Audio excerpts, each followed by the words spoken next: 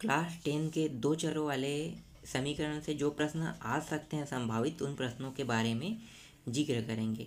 इनमें से फिक्स है कि ये अध्याय से जब भी प्रश्न आएँगे तो छः नंबर के ही प्रश्न आएँगे।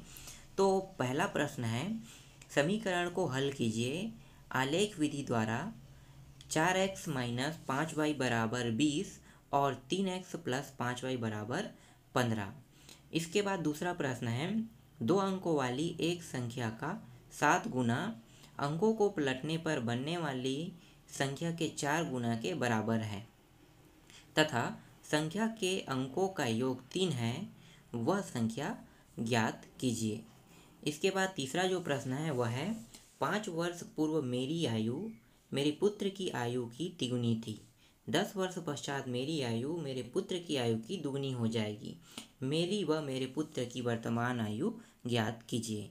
चौथा प्रश्न है, एक थैले में पचास पैसे और पच्चीस पैसे के कुल चौरानवे सिक्के हैं।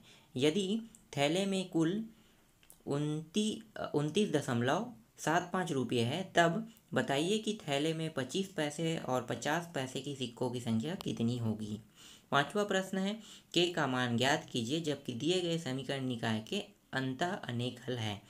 के माइनस तीन एक्स प्लस थ्री वाई बराबर के के एक्स प्लस के वाई बराबर बारह।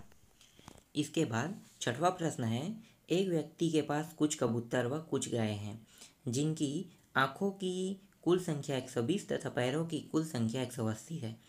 बताइए, व्यक्ति के पास कितने गाय व कबूतर है? तो ये सभी जो प्रश्न है, ये सभी के सभी संभावित प्रश्न हैं। हो सकता है आपके जो 2020-21 के बोर्ड एग्ज़ाम में आ सकता है। तो आप सभी के सभी प्रश्नों को बना के देख लेना। ये सभी प्रश्न सिंपल प्रश्न हैं।